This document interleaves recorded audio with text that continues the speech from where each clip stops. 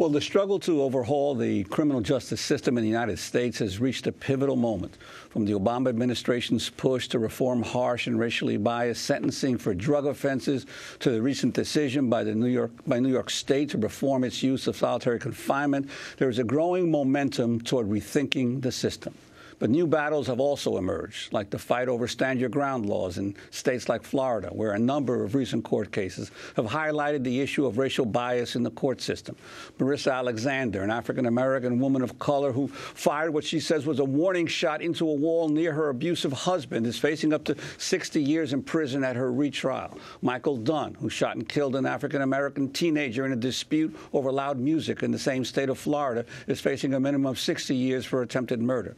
But the jury failed to convict him of the central charge in the case, the murder of Jordan Davis, a case that for many recalled the shooting of Trayvon Martin by George Zimmerman. To talk more about these issues, we spend the rest of the hour with the world-renowned author, activist, scholar Angela Davis, professor emerita at the University of California, Santa Cruz. For over four decades, she's been one of the most influential activists and intellectuals in the United States. She's speaking here in New York on Friday at the Beyond the Bars conference up at Columbia University. It's great to to have you here, Angela. Thank you, Amy. Thank Do you, you sense you, progress? Well, yes. I think that uh, this is a pivotal moment. Uh, there are openings, uh, and I think it's very important to point out that people have been struggling over these issues uh, for years and, and for decades. Uh, um, this is also a problematic uh, moment, and those of us who identify as prison abolitionists, as opposed to prison reformers, uh, make the point uh, that oftentimes reforms uh, uh create situations where um, mass incarceration becomes even more entrenched. Uh, and so, therefore, we have to uh, think about what in the long run will um, produce decarceration. Uh, fewer people behind bars, uh, and hopefully, eventually, in, in the future, uh, the possibility of imagining a landscape without prisons where other means are used to address issues of harm, where social problems uh, such as illiteracy and poverty do not lead uh, uh vast numbers of people uh, along a trajectory that leads to prison. I'm wondering, in terms, uh, the first term of President Obama was often referred to by some uh, uh, as through the myth of um, post-racial America represented by the election of President Obama. But even he has shied away until recently dealing with some of the racial inequities of our system, especially the prison system. I'm wondering if you could see a, a, a movement or transformation in the president himself and how he deals with some of these well, issues. Well, this is his second term. Uh, he has, really has nothing to lose. Uh, and it really is about time that he began to address what is one of the most critical issues in this country. Um, uh, it's uh, pretty unfortunate that uh, that Obama has waited until now to speak out, uh, but it's good that he is speaking out, and I think we can uh, use this opportunity to perhaps uh, achieve some important victories. Explain what you mean, Angela, the difference between uh, being a prison abolitionist, how you uh, describe yourself, and a prison reformer.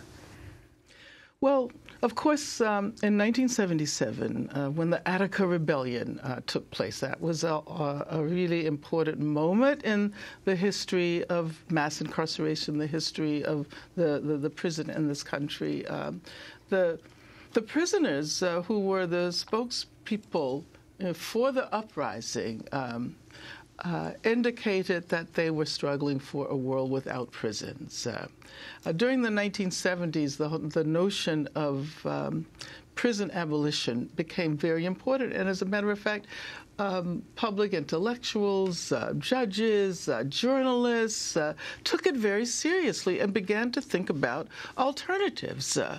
however, in the 1980s with the dismantling of the of, of, of, social services, structural adjustment in the global south, the rise of global capitalism, uh, we began to see the uh, prison emerging as a major institution to address the problems that were produced by uh, the deindustrialization, lack of jobs, uh, less funding into education, uh, lack of education, the close down of, of, of systems that were designed uh, to assist people who had mental and emotional problems. Uh, the, the, and now, of course, the prison system is a, um, is also a psychiatric uh, facility. The, I always point out that the largest psychiatric facilities uh, uh, in the country are Rikers Island in New York and Cook County uh, in in Chicago. So the the question is,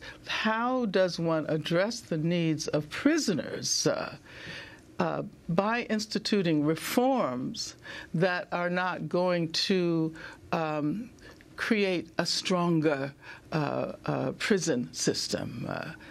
Uh, uh, now there are something like two and a half million people behind bars if one counts all of the various uh, aspects of what we call the prison industrial complex, including military prisons, jails in Indian country, uh, state and federal prisons, county jails, uh, immigrant detention faci- uh, facilities, which are which constitute the fastest growing sector of the prison industrial complex. Uh, yeah, so how the, the question is how do we respond to the needs of those who are inside and at the same time begin a process of decarceration that will uh, uh, allow us to uh, end this reliance on imprisonment as a as a default method of addressing uh, uh not addressing really uh, major social problems. And, and, how do you see the changing public attitudes toward uh, war on drugs and the the the willingness of some states now to begin a decriminalization process and recognize drug addiction more as a as a health problem than as a criminal justice problem? do you, you, you see that having some hope of sharply reducing the prison population? Yes, I think I think it is important, but again, um, it's also essential to point out that people have been struggling around these issues uh, for a very long time, and uh, oftentimes, uh, when these um, new moments emerge, it is as if uh, the legislators uh, have have come up with this idea for the very first time. Uh, uh, and of course, it is important that decriminalization is happening in, in, in certain states because drugs have served the, the so-called war on drugs, which, as we know, has been a war on poor communities, black and Latino communities all over the country that uh, so-called war on drugs has been the major uh, motor driving the rising uh, prison population.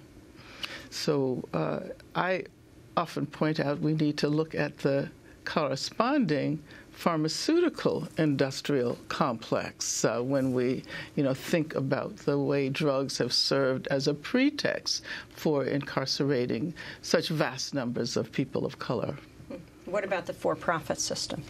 The for-profit prison system? Well, um, they're private prisons, of course. Uh, uh, um, the U.S. has given rise to this uh, private prison industry. Uh, Corrections Corporation of America was the first private prison corporation. Uh, and now, of course, we have uh, institutions like G4S, which is the third largest uh, um, private corporation in the entire world. Uh, third only to number one, Walmart, number two, Foxconn.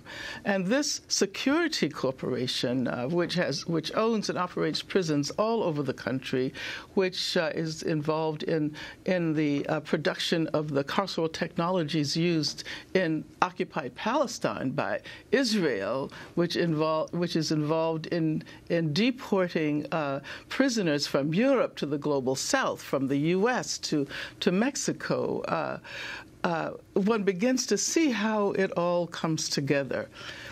But I think that private prisons uh, are not the only indication of the uh, thoroughgoing corporatization of punishment. Uh, even public prisons rely on private corporations, and healthcare has been outsourced, food production has been outsourced.